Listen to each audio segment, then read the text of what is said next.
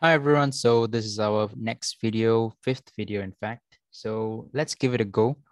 I'm going to go and attempt this question called lonely integers. It's also part of the one month prep kit. I'm thinking of expanding beyond the HackerRank series, like maybe LeetCode some important questions. I saw something interesting as well over there. So I'll share more as we go along. So yeah, let's jump straight into lonely integers. So, okay, let's read the question. So given an array of integers where all elements but one occur twice, find the unique element. Oof, my ID is loading forever. Okay, nice. Okay, so an array of integers where all elements but one occur twice and find the unique element. So each element occurs twice except for one, which is four. Okay, that seems all right. Okay, typically when there's something uh, in, most HackerRank questions, in fact, a dictionary or a hash map kind of a item, uh, it's it's a really powerful tool. So that is something that we always go to when we come to HackerRank. Let's say, like whenever when when stuck, throw a hash map at it. That is the meme that goes around in the HackerRank communities. So um, let me see. Does it help?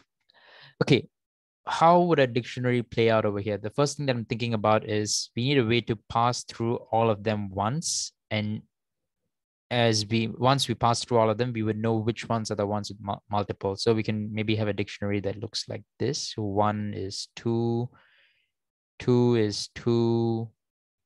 There are three, two occurrences, of two occurrences of three and one occurrence of four while this seems like you uh, know like it's it's just an approach we're just brainstorming here. While this would be useful in a different type of context in this context it doesn't really help us because we are not able to find like we are not able to identify the key from the value. We can do the other way around. We can find the value from the key but we cannot do the from key from the value so in that case, we need something else. We need something a bit different to handle this now. So what we can do is, um, let's look for more clues. Let's read further if there's anything that hits us now. Okay, and integers occur once. Okay. Okay, I think I found a different strategy now. Unique element uh, beginning pro beginner programmers might not notice, might not have eh, had exposure to this yet, but in Python, there is this nifty tool called set. So a set is essentially a way to like distill repetition and get just the main items inside. It looks like a hash map. It's a hash day. Like, like it looks like a um, dictionary, but it's not. It does not operate as a key value pair it only has values inside. So let's say, for instance, I'm doing set A. You can try it on your ID. Just type in A is equal to this array and put set A and see what you get. You would get something like this, one, two, three, four in order of occurrence. And that's it. You only get the ones that have been in sequence. Uh, you'll just get those that are present in the in the array. So it's like to find the distinct items in that array. So using this, you can find a strategy actually. But let's say I sum this and I multiply it by two. I get one, two, three, four, one, two, three, four. Okay, let me not confuse you guys. I'll erase the this one. When I have a set, I first distill it into individuals, then I multiply them by two like I, I duplicate the same set twice. I get one, two, three, four, one, two, three, four. Now compare this against this. The only difference is a four, which is pretty much my solution now. I pretty much just laid out the solution. I don't know if you guys can see it yet, but basically, if I can distill it first and then multiply it by two, I can pretty much just compare these two and then get a solution. Okay, so how do I compare them? I can sum this and I can sum this and I just find the difference between these two. And the difference would be the missing four.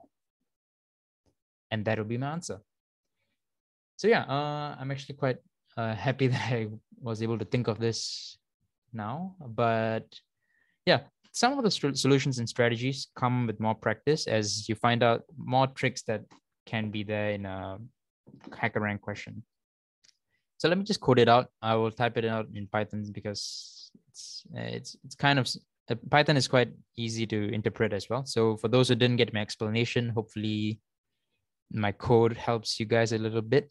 So what I'm going to do is I'm first going to make a set and the set is going to be, uh, yeah, I'm just going to make a set which will distill all the the duplicates in in this set it the set with the tt it will have only one occurrence of each element inside and in my next row i can already return my solution my final answer so what I'm going to do is I'm going to sum the set, set it. Yep. T, another T. Okay, come on. It's lagging a lot.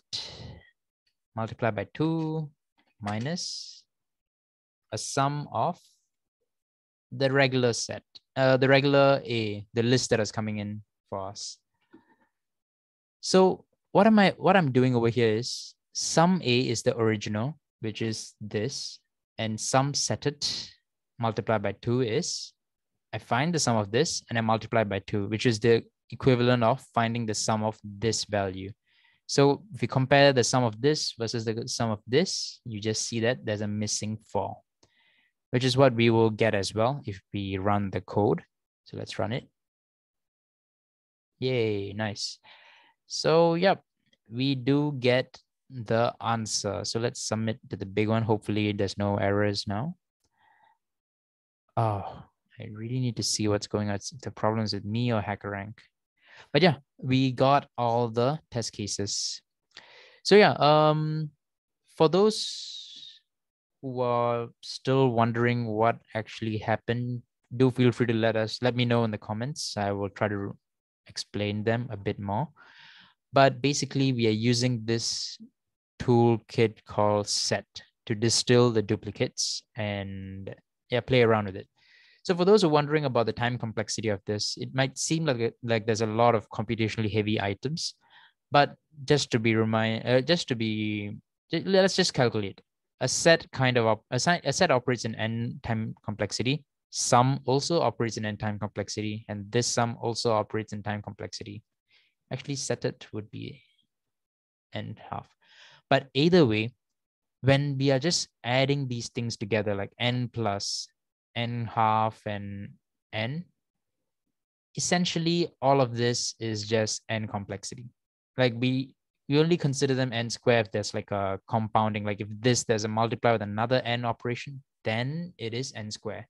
But otherwise, this would just be considered n, n complexity. So hope you guys enjoyed that video and I certainly enjoyed it. I I don't know. I don't think I would have thought of this usually, but okay. It's a strategy. Like you practice enough and then you get a hang of it and then you can deploy more strategies to work for you in real life. So yeah, hope you guys learned something new and hope you enjoyed the video. Let me know how I can improve. If you would like to see any other questions, do let me know as well. And I'll see you guys in the next video. Thank you.